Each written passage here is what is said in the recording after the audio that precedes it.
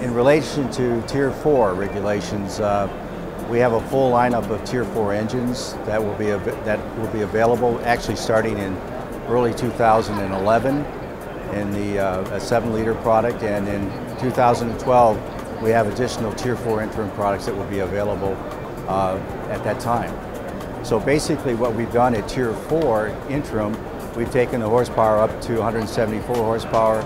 We've increased the power density we're utilizing a single or dual turbocharging arrangement dependent upon the power and the, and the uh, power requirements uh, for the individual applications uh, from an OEM perspective. Perkins utilizes uh, two different types of regeneration systems.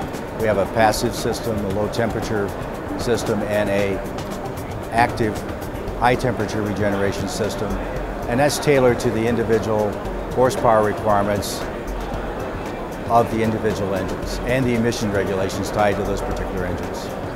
Customers are going to notice that we have a diesel particulate filter which utilizes a low temperature catalytic regeneration system and that system is required to meet the Tier 4 interim emissions regulations.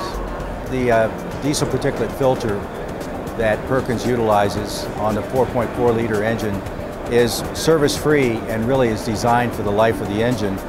It utilizes a continuous transparent regeneration which doesn't require any operator interface.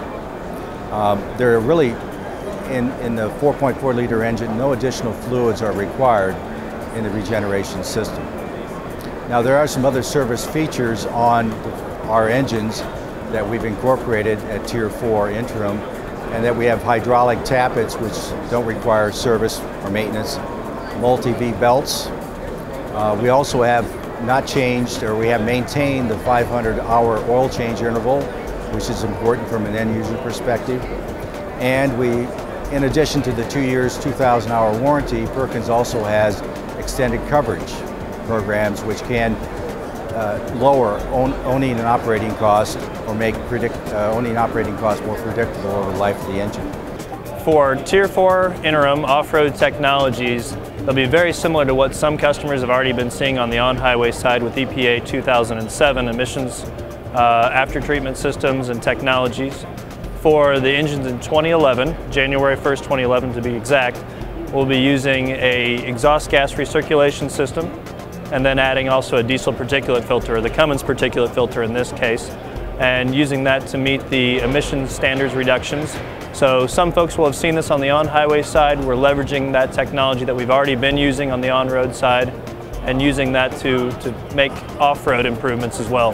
For Tier 4 engines from 75 to 173 horsepower, Cummins is also introducing engines with exhaust gas recirculation as well as the Cummins Compact Catalyst. And this is a different after-treatment system that we're using that it's, it's completely uh, passive, it's uh, free of any type of interface for an operator. Uh, they'll know, notice no difference in terms of panels or anything like that, lights, urea fluid. Operators will still notice the same power. In fact, they'll notice an improved response with their Tier 4 engines compared to Tier 3. Uh, we've integrated it so that our, our engines are completely uh, free of that user interface and the engines can run as normal. With Cummins, we have over three quarters of a million diesel particulate filters in use today on the on-road side. And with that, we've gained a lot of experience on how long these products last, the type of service requirements that we have. They're designed to last the entire life of the engine. And virtually uh, every user that we've had on field tests and demoing products have noticed just a clear transition from Tier 3 to Tier 4 products. It's been very helpful. And then on the smaller engine side for the January 1st, 2012 emission levels, we're going to be using a diesel oxidation catalyst. It's uh, the Cummins Compact Catalyst. And that is a completely passive-free system. It uh, completely is uh, simplified for those smaller engine levels. So that's been something that we've also gained